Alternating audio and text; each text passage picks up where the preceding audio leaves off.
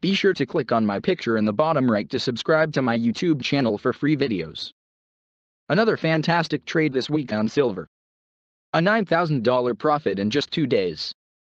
Silver has a lot of risk and reward, but my spread indicator can make you a consistent winner. This was using a 1 hour time frame, buying one standard contract. I get in the trade when my indicator spreads at the bottom of the chart, and the candle closes above the white line. I get out of the trade when the candle touches the 10 line.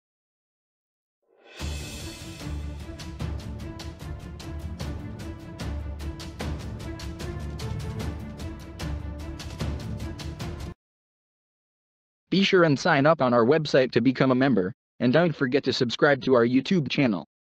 Hope this helps. Good luck trading, and I'll see you on my next video.